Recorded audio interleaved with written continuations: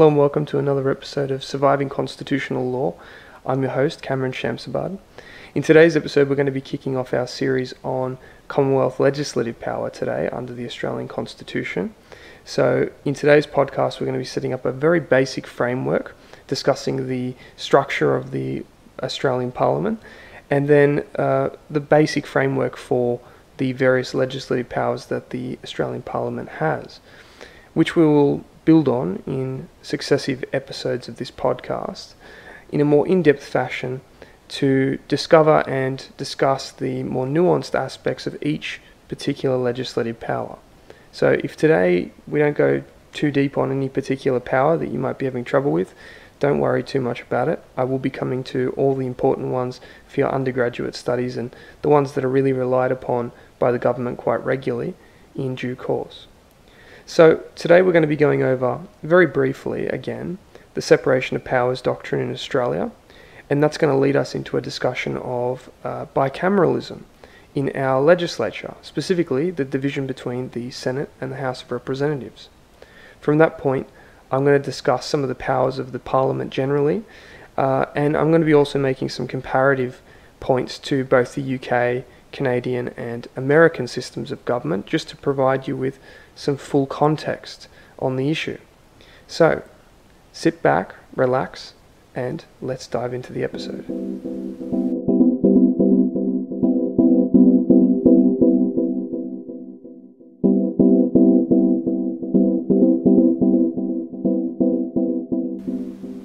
So, first up, why are we starting with the Australian legislature?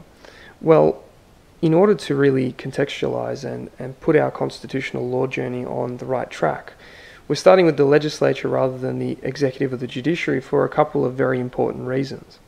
The first is that Chapter 1 of the Commonwealth Constitution creates and empowers the legislature, which means that it's really the first thing that the Constitution sets out.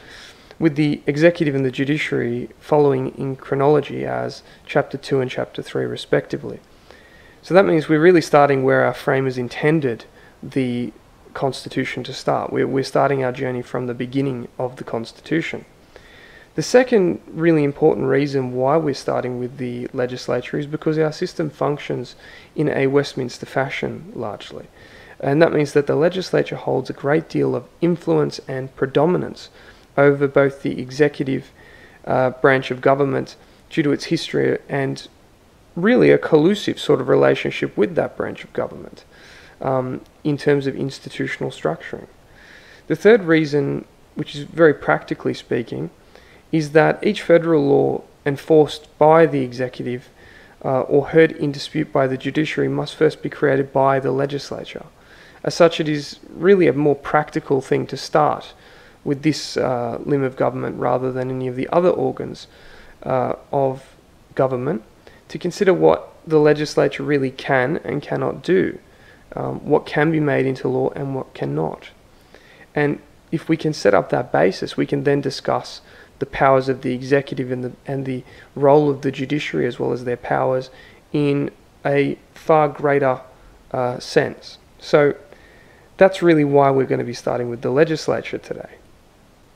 So I just touched on it very briefly in relationship between the uh, legislature and the executive, how there's that little collusive relationship that's been going on between the two, and how it's sort of structured that way within our system. So that really does bring us to the first point that I said we would discuss in our episode today, very briefly, which is the separation of powers in Australia.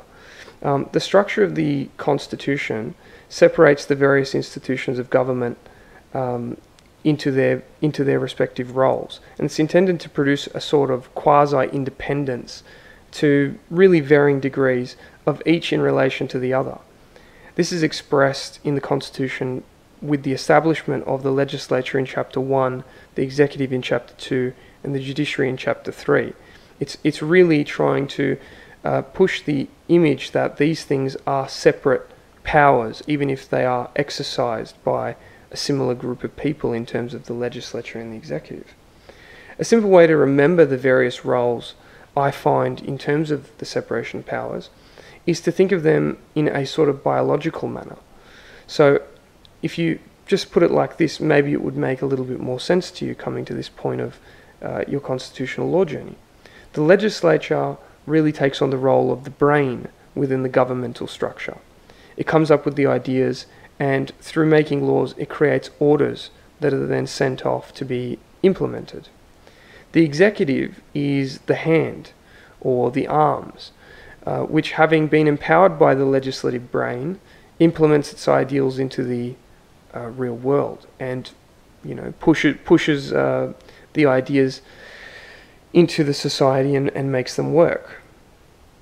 The judiciary has a very unique role in the sense that it plays largely the role of a conscience.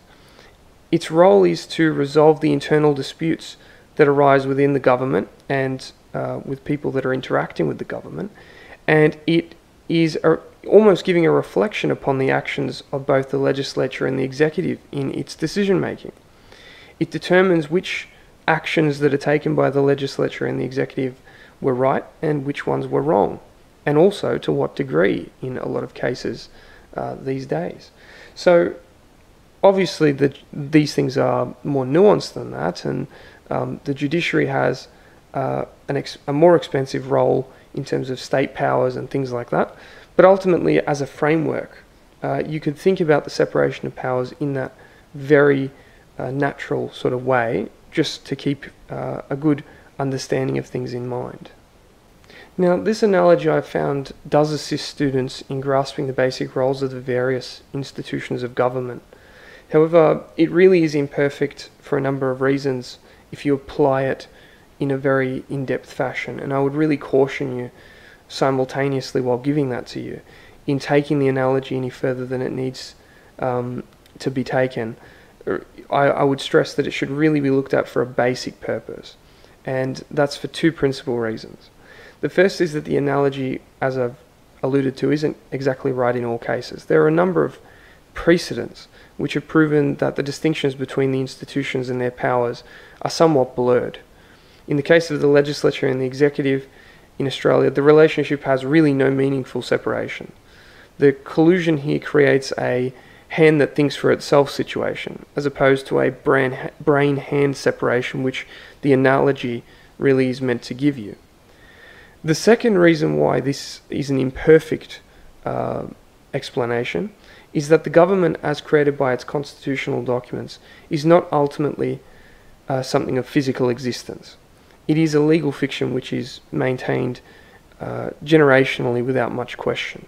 It does not in itself really possess any intrinsic qualities except those which we ascribe to it. So I would really be cautious with the analogy in that sense. However, uh, if you're going to just think about it as uh, what the separation of powers doctrine is meant to be and what the specific roles of each uh, arm of government is meant to be or what organ is meant to be, really that does work for that purpose. But with that firmly clarified and um, set out, I would like to really move on to our Constitution and discuss the Senate and the House of Representatives and their structure, respectively.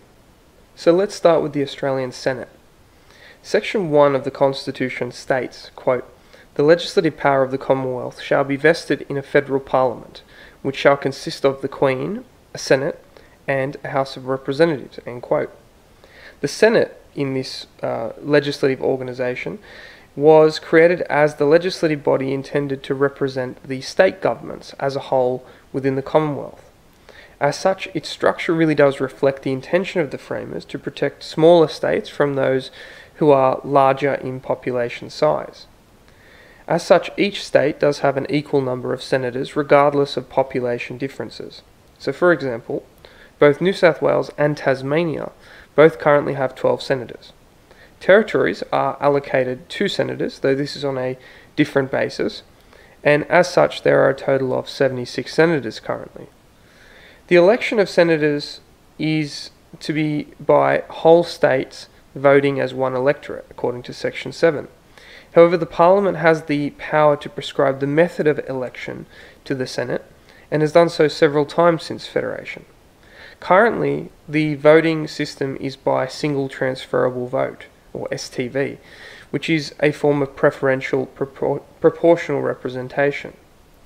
This is quite different from the House of Representatives in some ways, in which each member represents a certain number of constituents within a jurisdictional boundary, which means naturally uh, states that have larger populations will have more representatives in the House of Representatives. Just like the House of Representatives, the Senate is presided over by a member. The member who presides over the Senate is referred to as the President, and they must be selected before any other business can be heard by the Senate. The President of the Senate must at all times be a senator. So now we have our Senate, and we've we've discussed some of the basic structures and some of the basic roles. How do we actually uh, get the Senate in its place? Well, according to the Constitution, anyone who may vote for an election of the House of Representatives is also under Section 8 automatically eligible to vote for senators. And this means the enfranchisement of people cannot be distinguished between the two legislative bodies. The method of electing senators, as determined by the Commonwealth Parliament, must also be uniform across each state. It cannot be inconsistent from state to state. Now, the powers that the senators, once they're elected, uh, can utilize are considered also co equal or coordinate with those of the House of Representatives. It theoretically can initiate laws of any kind for later approval by the House, in the same way that laws can be proposed by the House of Representatives to be approved by the Senate. The only exceptions really come uh, in the form of Section 53, which concern the appropriation of monies for the running of government and the levy- levying of taxes. In each case, the Senate is not capable of proposing uh, law or a bill which would actually uh, do either of those things. Those things must be done by the House of Representatives. It does, however, have the capacity as a Senate to reject all bills, which includes the budget and appropriation bills initiated by the government in the House of Representatives. In relation to the budget, this is called blocking supply. When the Senate fails to approve the budget and blocks supply to the executive government, led by the Prime Minister, this causes a tedious political crisis within the country.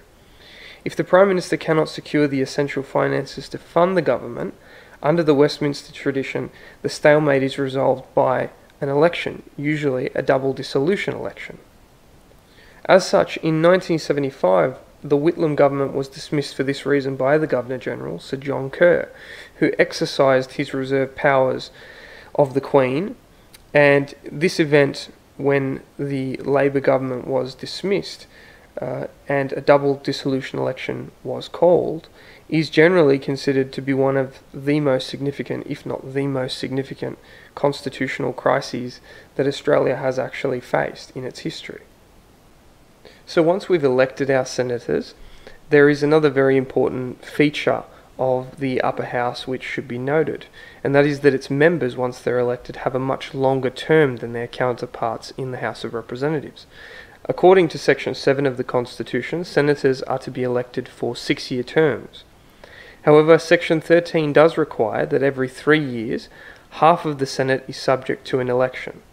This is always scheduled to coincide with the general election of the House of Representatives. So, for example, absent any double dissolutions, the 40 senators that were elected in 2019 will not face another election until 2025. However, those senators who were not up for election in 2019 will face the next election in 2022. Now, Section 15 of the Constitution provides that a casual vacancy of a state senator shall be filled by an appointment of the state parliament. If the previous senator who has left his position or her position was a member of a particular political party, the replacement must come from that same party. However, the state parliament may also choose not to fill the vacancy, in which case Section 11 requires the Senate to proceed regardless of the vacancy existing. Should the state parliament be in recess when the vacancy occurs, the Constitution also does provide that the state governor can appoint someone to fill the place until 14 days after the state parliament resumes sitting, at which time it's assumed that the state parliament will make an appointment to the vacant position. So, with that overview of the Senate in mind, and you know, having discussed its structure, its powers, and aspects of how it's elected, it's important for me to provide you with some context for the Australian Senate and why things are the way they are, looking at the bigger picture. So, to figure out why the Australian Senate is really the way that it is, uh, we're going to be looking at two primary examples that our framers would have been considering when they were uh, structuring and debating what the Senate would look like. One of those is the UK House of Lords, and the other is the United States Senate. Now, in the United Kingdom, the Parliament is comprised of two houses. One is the House of Commons, which is the lower house, and the other is the House of Lords, which is the upper house. These two houses, however, are not equally empowered as with the Australian Senate and House of Representatives. All legislation in the UK by convention should be proposed by the House of Commons and is then subsequently sent to the Lords for either approval or amendment advice. However, since 1949, the Commons is capable of bypassing the House of Lords should they reject a law by simply repassing the exact same law a second time, meaning that the House of Lords can merely delay passage of a law it cannot completely block the passage of a law. As such, within the UK, it can be stated that the Parliament holds supremacy in the government. However, the House of Commons holds supremacy over the Parliament.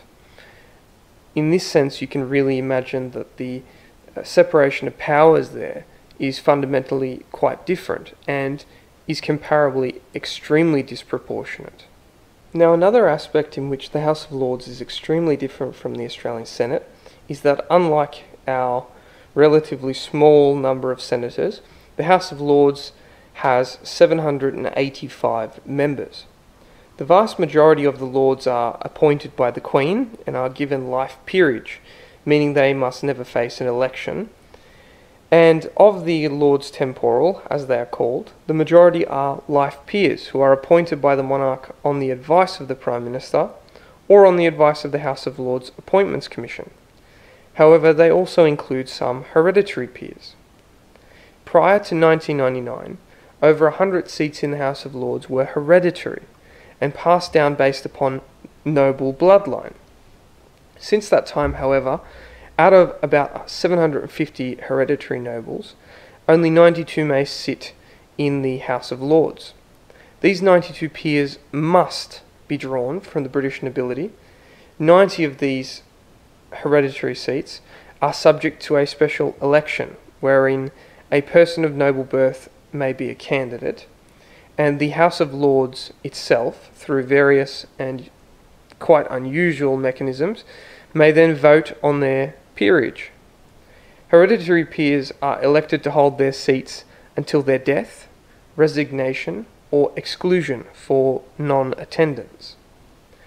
In addition to this, there are also 26 seats in the House of Lords reserved specifically for bishops of the Church of England. The Lords Spiritual, as they are referred, hold peerage so long as they are in possession of a diocese within the church structure. Now, to encourage gender equality, female bishops are currently being preferred to males for all new vacancies that may arise until May of the year 2025. And it's likely that this was in response to the disproportionate number of men who have been in the role for such a long time, and given the life tenure they hold their positions for quite some time. And there's now a um, policy objective or agenda to bring more women into those roles for the next few years so that they will also have life tenure in their positions. Now, for us Australians, this probably sounds a bit archaic and very silly. Uh, it's very, very different from what we would observe within our own country and in most countries around the world. It should be noted that the UK Parliament is really the product of a great deal of historical evolution, as I've mentioned in previous episodes. So it's really a remnant from a time gone by, and it's not built in a modern sense in any way. And really, this has been the perception of people, not just now. This is this isn't a, a modern interpretation of things. This is also the interpretation which was being given by a lot of the people who were involved in our uh, federation uh, drafting during the 1890s. Some of them at the federation conventions were seeking to closely replicate the British system as much as possible, probably looking to mimic the Canadian model more than anything else though thankfully the majority preferred to follow the American example structurally much closer rather than either the Canadian or the UK uh, House of Lords. Now, in the United States, the legislature is divided into two almost equally empowered bodies, these being the House of Representatives and the Senate. This, of course, is the origin of our own institution's names, and the separation of powers really that we do have in Australia. Now, the US Senate requires each state to have an equal number of representatives, regardless of size. This should really be a bell for what I've already said is the Australian model, and you can see the similarities from where we have derived these ideas. As such, both Hawaii and California in the United States have only two senators each, along with all the other 50 uh, 50 uh, states, they, they all only have two senators. Now, originally these senators were selected by the state legislatures. However, since the passage of the 17th Amendment in 1913, the appointment of senators by the state legislatures has been replaced, and senators are now elected on rotation by their respective states acting as one electorate. Senators are also elected for six year terms in the United States, and the terms are staggered slightly differently from Australia, so that approximately one third of the seats in the Senate are up for election every two years. And this is timed, of course, to coincide with the House of Representatives elections, which are held every two years in the US, unlike in Australia where we have a tradition of holding ours every three years. Now, the Senate is sorry, the Senate in the US may also introduce a bill on any subject, except those uh, concerning appropriations of money or the levying of taxes, uh, which must originate in the House of Representatives. This should all sound familiar, of course. However, in the US, the Senate also holds a special power to approve the appointment of executive cabinet members and federal judges who are nominated by the President. This is particularly important in relation to the Supreme Court nomination process, where the Senate Judiciary Committee will often spend days questioning nominees as to their constitutional opinions.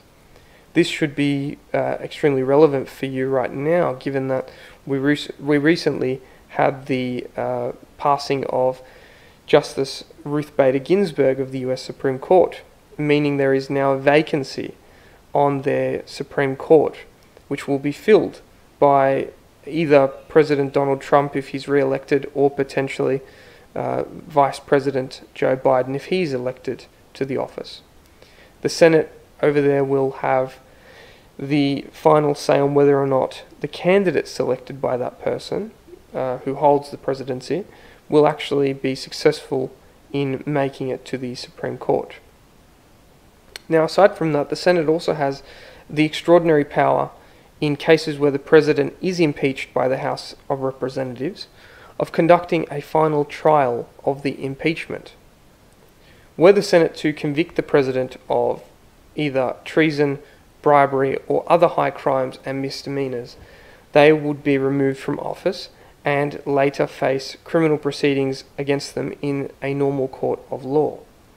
On this basis, the US Constitution actually provides uh, a mechanism for the removal of the head of the executive, the chief executive, uh, in quite unusual fashion, especially compared to, say, Australia or the UK, where ultimately the chief executive, being the monarch, cannot really be indicted by the crown, as the crown, in all realistic senses, is represented by them. They, they really wear the crown, so they can't be prosecuted. Whereas in the US, there is a process of impeachment whereby the president can actually be prosecuted. Now, aside from the power of nominee approval and impeachment, the Australian Senate has closely mirrored its American counterpart uh, in a number of ways. It is one example where the uh, Constitution of Australia is almost completely devoid of British influence when we look at the Senate, of course. Our framers, particularly Andrew Inglis Clark and Sir Samuel Griffith, favoured the American model over even the Canadian Senate. In Canada, of course, the senators are appointed by the Governor General on the Prime Minister's advice, and they hold their seats not for life, but until the age of 75. Now, the primary reason for us supporting the American style Senate was to entrench the importance of federalism in Australia. The Senate was where populative majorities from large states like New South Wales and Victoria could be tempered by the voice of smaller states like Tasmania and South Australia, who could, by coalitions, prevent the passage of laws privileging the larger states at the cost of those smaller sister states. So, with that stated, we now come to the House of Representatives within the Parliament. The lower house of the Australian legislature, as previously mentioned, is the House of Representatives. It is set out in Chapter 1, Part 3 of the Constitution.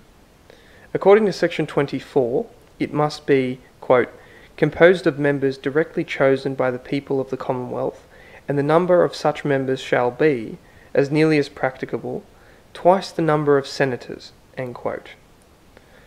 Electorates for the House of Representatives are formed on the basis of population quotas, and as such, states like New South Wales and Victoria will naturally have more members in the House than smaller states like Tasmania or WA. Currently, there are 151 seats in the lower house. While there have been attempts to ensure each member represents an almost equal number of people, this has been almost impossible to actually effect.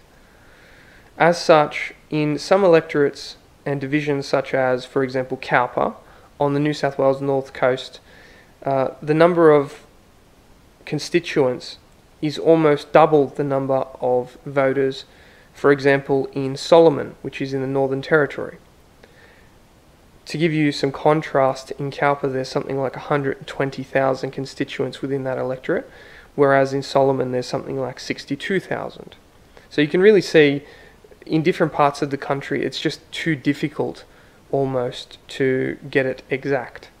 However, this has really raised some eyebrows in the past, specifically because if you have one representative in part of the country for only 62,000 people, and in another part of the country it's almost double that, or potentially more than double that, um, it obviously creates a, an inequality as to the representation because rather than the larger electorate being divided and having two representatives, the smaller electorate in the Northern Territory, for example, gets to keep one uh, representative for a smaller number, which means that its people are naturally a little bit more empowered uh, for their more minority status in that sense. This actually spurred a High Court of Australia case called uh, the Attorney General of the Commonwealth ex rel McKinlay and the Commonwealth in 1975. Now, in this case, the High Court was asked to determine whether the disparity that arose within these different uh, electoral boundaries was actually constitutional, given that it does result in inequality between electors.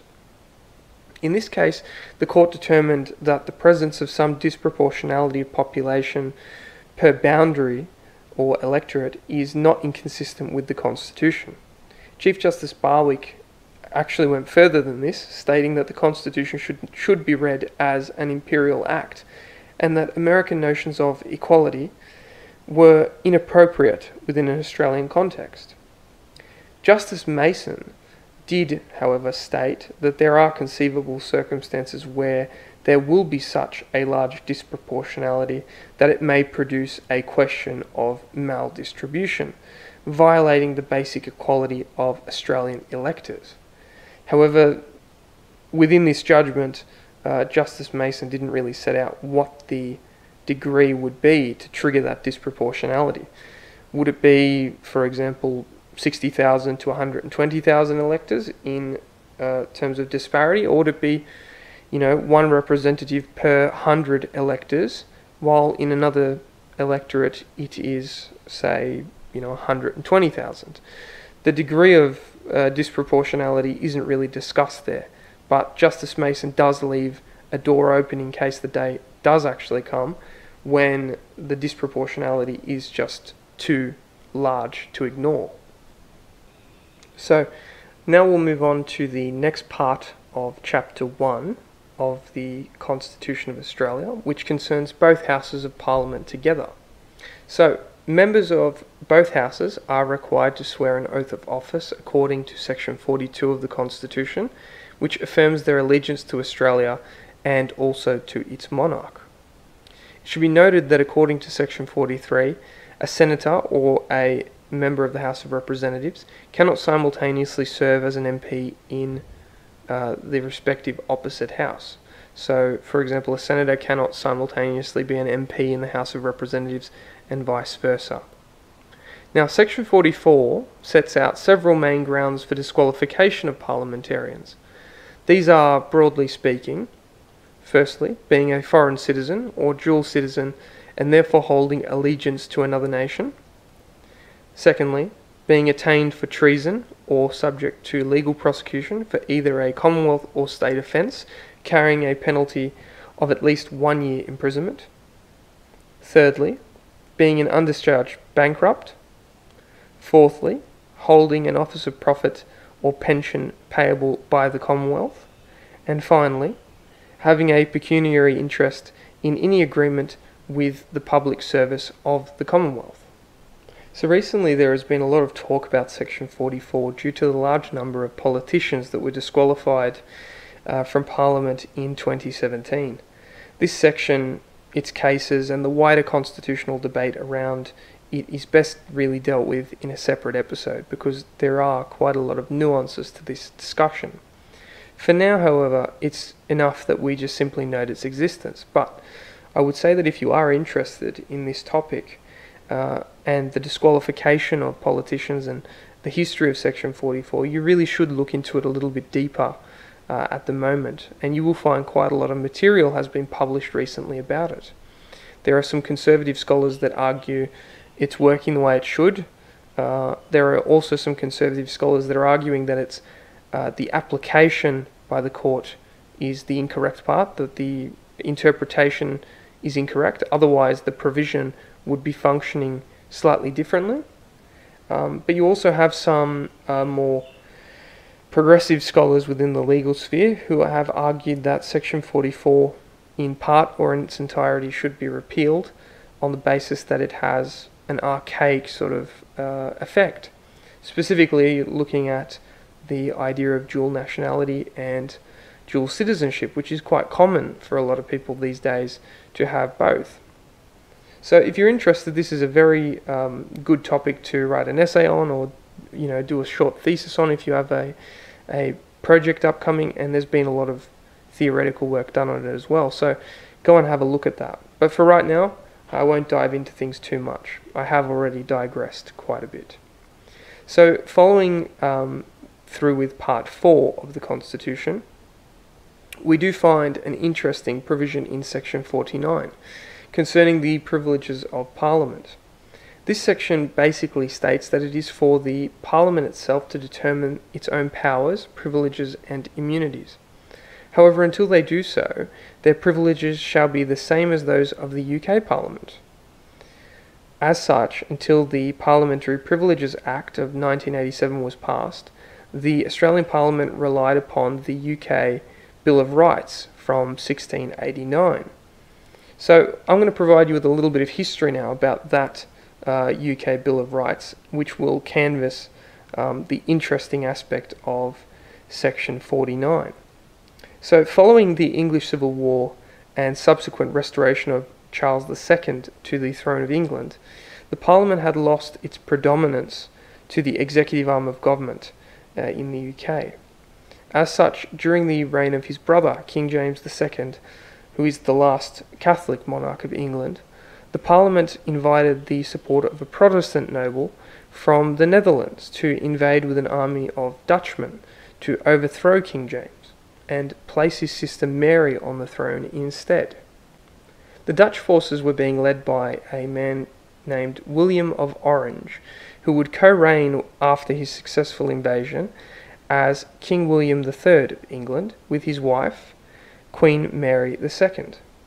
James, in turn, had fled to France, where after a failed attempt to reclaim the throne, he lived in exile for the rest of his life. With William's arrival in 1688, however, the English Parliament agreed that, in order to justify the removal of King James II for his tyranny, the Parliament must set out the fundamental rights and privileges that he had abused. This, they believed, would also create a clear line for their new monarchs which could not be crossed, and if they were crossed, obviously would have some sort of repercussion. This period of time is referred to as the Glorious Revolution in the UK, and it culminated in the creation of the English Bill of Rights, which set out basic civil rights for Englishmen, such as, for example, uh, that excessive bail ought not to be required, nor excessive fines imposed, nor cruel and unusual punishment inflicted upon those imprisoned. Also, that fines and forfeitures before conviction are illegal and void, as well as that subjects have a right to petition government without fear of punishment.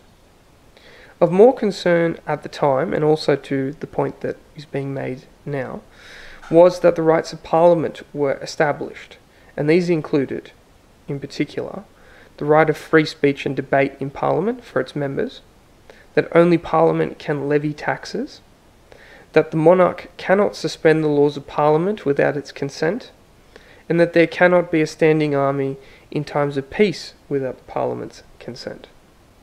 Now, this statute, along with the Act of Settlement from 1701, among other things, forms the basis of parliamentary sovereignty in the UK, and as such established the basis of parliamentary privileges.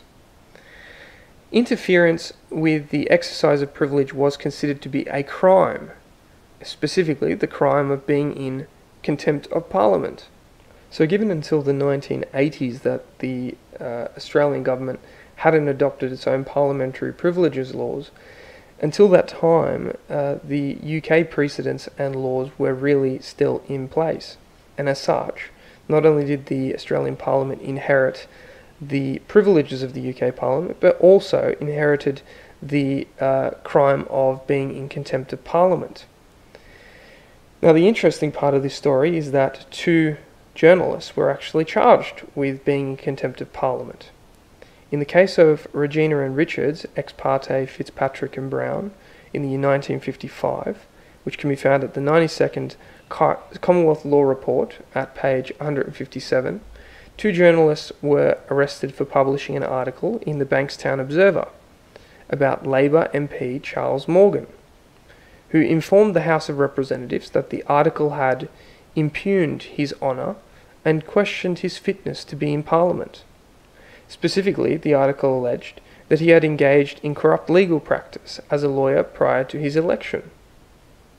The men who had published this uh, article smearing the MP were brought before the House of Representatives to the dispatch box to answer the charges that they were in contempt of Parliament. Prime Minister Sir Robert Menzies, the much respected founder of the Liberal Party, moved a motion that the men be imprisoned for 90 days as punishment. It was carried, and they spent three months in prison for the article that they published. The Parliament had found the two men guilty before they even entered the chamber. The only matter to be determined was their sentence. The High Court on Appeal also refused to overturn their punishment and held that the Australian Parliament retained the privileges and powers of the UK House of Commons and as such, was capable of punishing a person for contempt of Parliament. Since the passage of the 1987 Privileges Act, all charges of contempt are subject to judicial review in a federal court. Section 4 of that Act does provide that certain conduct will be subject to punishment if it, prob- if it properly or improperly interferes with the free exercise of the House, its functions, or performance of its members. This is punishable under Section 7 with up to six months' imprisonment. However, contempt by defamation, which is really what occurred in the Fitzpatrick case, uh, was abolished in the 1987 Privileges Act, unless, of course, it is said in the presence of a House or committee. So, the moral of the story really is if you plan on defaming a politician, just make sure it isn't done in Parliament.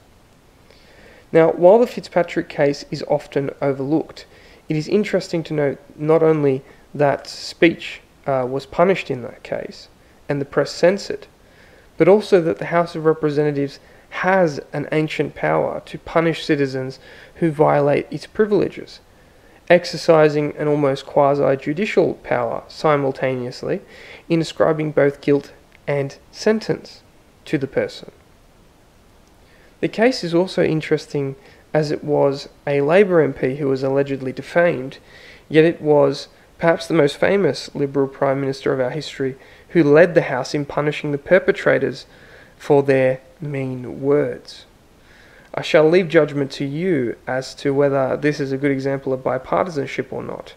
However, it certainly uh, does reveal not only that uh, the Australian Parliament has quite archaic roots in some uh, in some circumstances, but also that uh, the concept of free speech, expression, and protection of the free press is quite different here than it has been in many other free countries. So you should always keep that in mind that our institutions have been quite abrasive towards the freedom of the citizen. Now, with that quite dark story in mind about our history, it's probably now a good time to move into our overview of the legislature's powers. So, part 5 of chapter 1 sets out the powers of the Parliament in making laws. The main body of these are set out in section 51, which contains 39 heads of power under which the federal parliament may legislate. This including, quite notably for example, foreign affairs and interstate trade and commerce matters, external affairs matters, issues of naturalization and also foreign aliens, corporations, and of course, um, particularly in the last couple of years, quite famously, uh, the federal government under Section 51 has the power to regulate marriage. The section also contains lesser known heads of power, though, such as the power of Parliament to legislate in relation to, say, lighthouses or interstate railway construction, and also the standardization of weights and measures. So, if you ever have an issue with the metric system, you should follow it up with your federal MP. It should be noted, however, that these heads of power in Section 51 are not deemed to be exclusive to Commonwealth power. A state government can actually legislate on any of these topics, and their laws will be deemed valid, unless, of course, an inconsistent Commonwealth law is later made, invoking the inconsistency clause set out in Section 109. In Section 52, there are several subjects which only the Commonwealth Parliament may legislate upon, however. These include where the Australian capital city is, regulation of federally owned public places, and also matters relating to any department of the Federal Public Service. Section 54 and 55, respectively, also declare that any law seeking to appropriate monies for the public service or levy taxes must be limited in its content solely to the purposes um, of either, either appropriation or taxation. So, for example, a law which would create a new tax cannot simultaneously create regulations of either lighthouses or marriage. It must concern only the subject of taxation. Section 81 of the Constitution uh, treats all money acquired by the Commonwealth as forming one consolidated revenue fund to be appropriated for the purposes of the Commonwealth in the manner imposed by the Constitution. Section 83 provides that no money shall be drawn from the Treasury without an appropriation, and that any appropriation must be made by law. That is a law of the Federal Parliament. After a long history of development, uh, the High Court determined in the case of Pape and Commissioner of Taxation in 2009 that neither Section 81 or Section 54 are in themselves sources of substantive power. They are merely corollary controls to the exercise of legislative power. This subject is another which is fascinating uh, in, in the jurisprudence that it has, so we'll return to this in more detail during a later episode, likely uh, not very soon, uh, due to the fact it's not really focused on as much in constitutional law as it's taught in the undergraduate level. However, I would say the constitutional law relating to the finances of government and taxation is extremely fascinating, and there is a great deal of argument to be made that the courts have actually done an extremely poor job in interpreting the Constitution as it relates to financial matters. Now, at this point, having set out the structure of the Parliament, its bicameralism, legislative powers, uh, you're probably expecting things would be wrapped up. However, uh, to end this episode here would really omit a very important aspect of Section 1 of our Constitution, which defines the conferral of legislative power in Australia. Namely, that the Federal Parliament shall, quote, consist of the Queen, a Senate, and a House of Representatives, end quote. So therefore we must not forget that the Queen, or monarch more generally, is a component also of our legislature as well as our executive branches of government. Unlike in the United States, where the executive and legislative arms of government are separated, in Australia the two are bound together, taking from the UK and Canadian examples. As such, the Queen, as the de jure head of the executive, and her representative, the Governor General, hold a special role within the legislative process one which is almost never recognised due to the limited occasions upon which they are invoked. So, according to Section 57 of the Constitution, where a disagreement between the Senate and the House of Representatives over a piece of legislation paralyses the Parliament, such that neither is willing to compromise on amendments to facilitate its passage, the Governor General may dissolve the Houses of Parliament. This is called a double dissolution, as I've mentioned previously, and has been invoked a number of times in Australian history. Most recently, in 2016, Prime Minister Malcolm Turnbull advised the Governor General that the conditions of Section 57 were met when the Parliament couldn't achieve a consensus relating to amendments of labour and union laws. Should this double dissolution not resolve the dispute, the Governor General can then call a joint sitting of both Houses of Parliament and have the two Houses vote together on the proposal with an absolute majority being required for its passage. According to Section 58, all laws passed by the Parliament subsequently are to be presented by the uh, Prime Minister to the Governor General, who acts as a proxy to receive the Queen's assent. They may also, the Governor General, refuse to assent to a law, instead making recommendations which would be precedent to its later approval.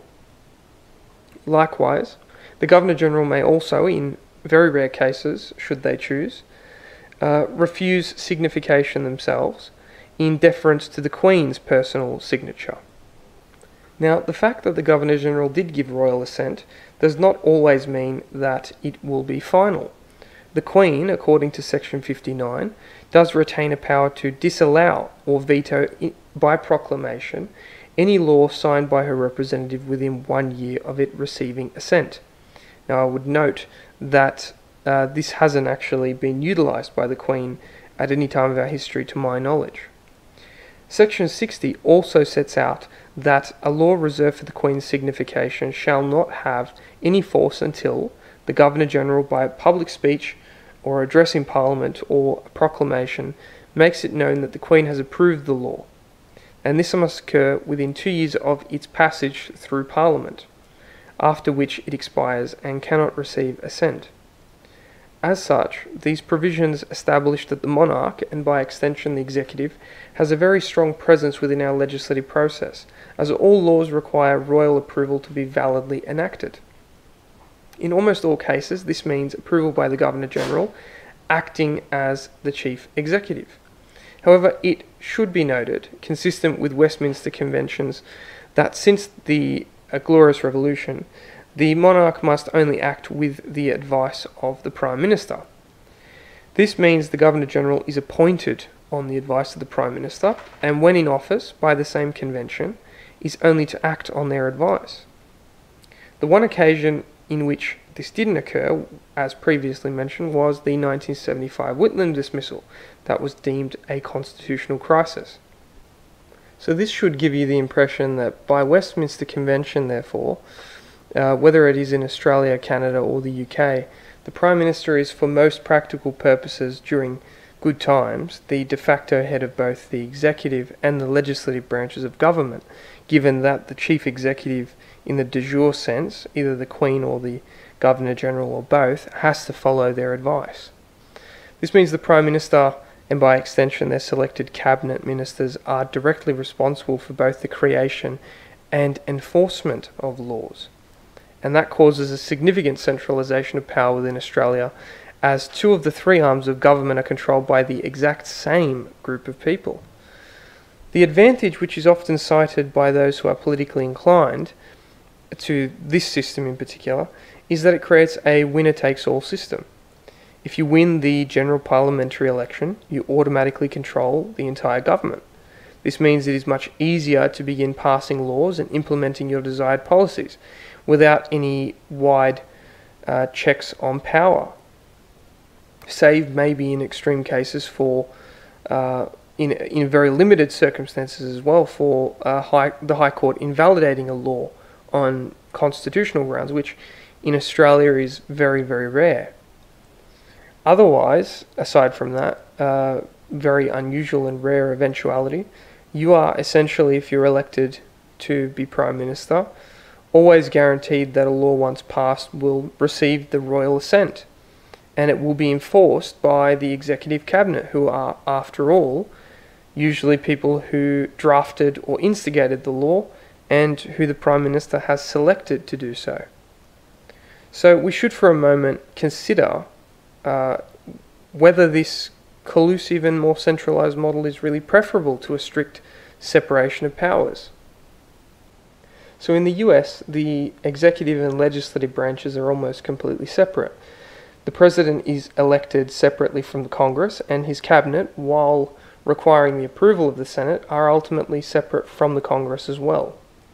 The president has no direct hand in the creation of legislation, while his approval is required for a bill to become a law, in similar fashion to our Governor General giving royal assent, according to Article 1, Section 7, Clause 2, the Congress, in cases where the President does refuse their approval, can actually pass the law a second time and thereby by bypass his executive veto.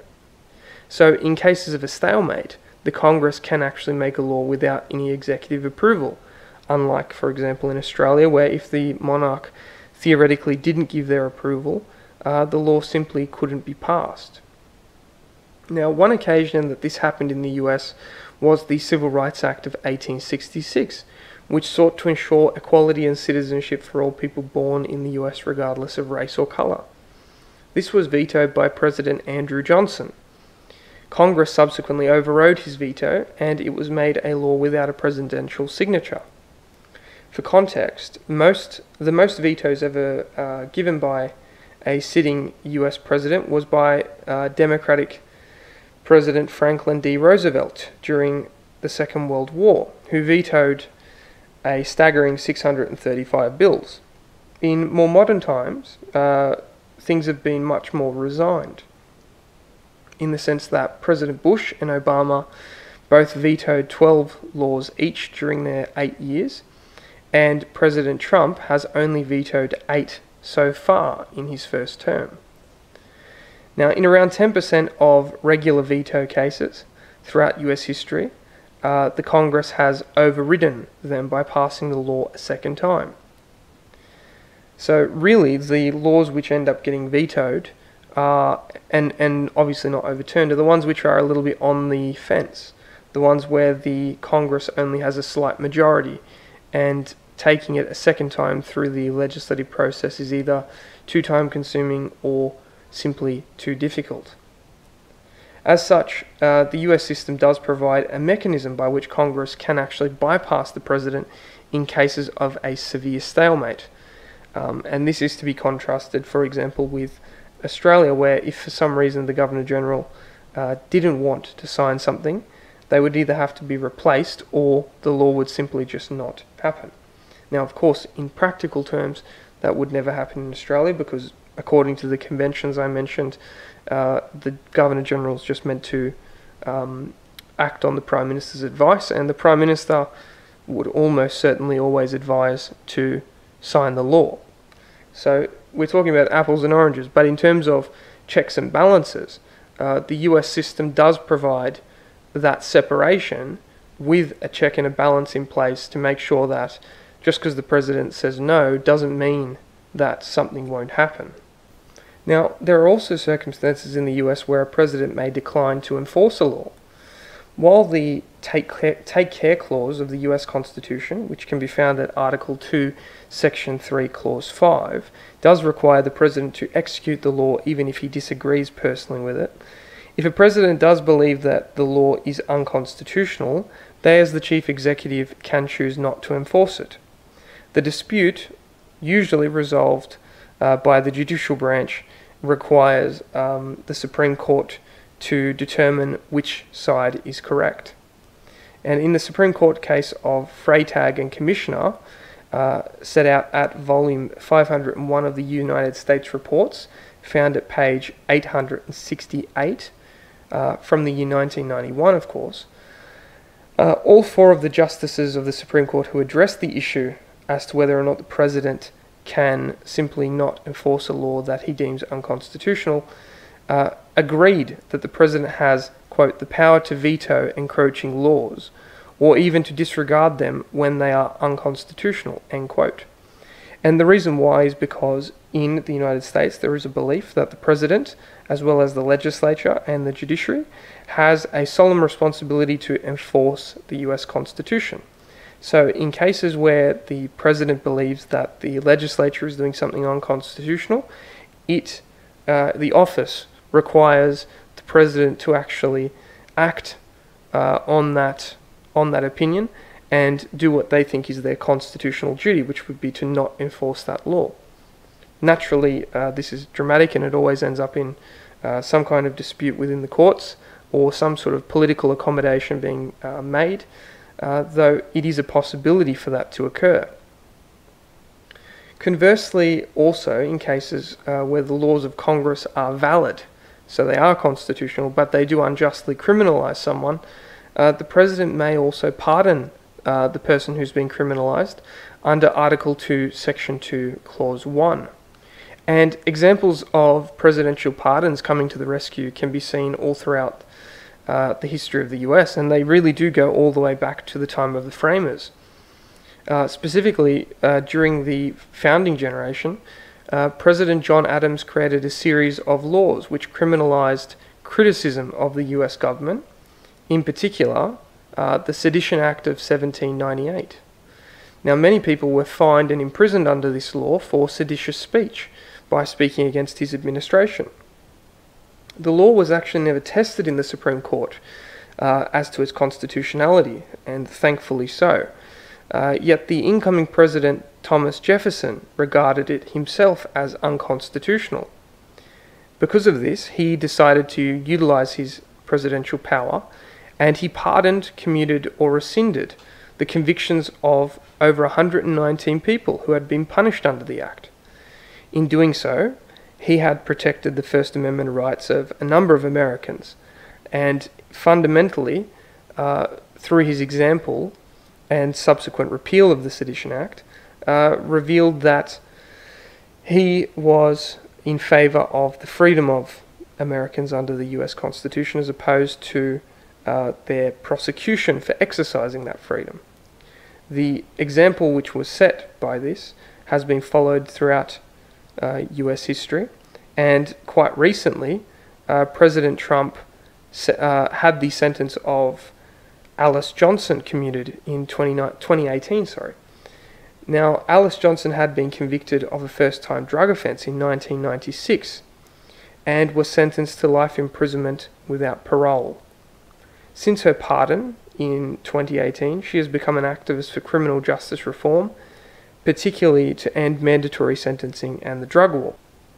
By now, you can probably see the important differences between the two systems of government. While in Australia and parliamentary democracies like the UK and Canada, uh, there is a winner takes all approach. The United States, by its divisions of power, has a much more gridlocked system by design. This makes lawmaking and enforcement much more difficult, while the parliamentary countries seek to streamline the lawmaking process, the United States seeks to frustrate it and uh, make it much more difficult so that you have ultimately less laws. Uh, the reason for the difference is really quite ideologically rooted. While in parliamentary countries the focus has been on the effective exercise of political power, the United States Constitution, by its very design, is focused on the limitation of political power to reserve the rights of citizens. Whether you prefer one or the other will really depend upon your ideas on political theory. Ultimately, though, this is an example where political ideology will intersect with constitutional law, and your opinions, one way or the other, will be informed based upon your political ideals. So, to recap on what we have covered today in our episode, we have gone over the constitutional basis for the Commonwealth Parliament and its legislative powers. I discussed the Senate, its role within our bicameral system, and also its historical predecessors, as well as the House of Representatives and its role its important role within our and other parliamentary democracies. Aside from the structural facts, I also gave you a brief overview of the powers of the Commonwealth Legislature and also how the monarch and her representative fit into the legislative process. To wrap up, I then contrasted our Westminster parliamentary model with the United States Republican system, just to give you something to think about going forward in terms of the wider context of constitutional theory. While we covered quite a lot today in terms of uh, content, it should also be noted that it is rare in law school that you would get any sort of explanation on this sort of topic, um, given prior to jumping into the more substantive aspects of legislative power. No one really does sit you down and explain, uh, sit down with you and explain the uh, structure and uh, reasons behind the formation of government. They really just dive straight into the Section 51 stuff. So, my hope is that the explanation I've given in today's episode will make some of those upcoming topics within the legislative powers um, subject easier to understand and perhaps has given you a bit more context to think about them in. So, from our next episode, we're going to start discussing some of the key uh, legislative powers of the Commonwealth in more detail and that's really going to take us over the next three or four episodes, I would say, talking about some of the main legislative powers that the Commonwealth relies upon and also the ones that you study in law school. In particular, on our next episode, we're going to be covering the trade and commerce power, which is found in section 51, subsection 1. So, I hope you enjoyed today's commencement on Commonwealth legislative powers, and I hope you're prepared for our next few episodes. Please stay tuned for our next one on Trade and Commerce Power. And until then, of course, please remember to always keep reading.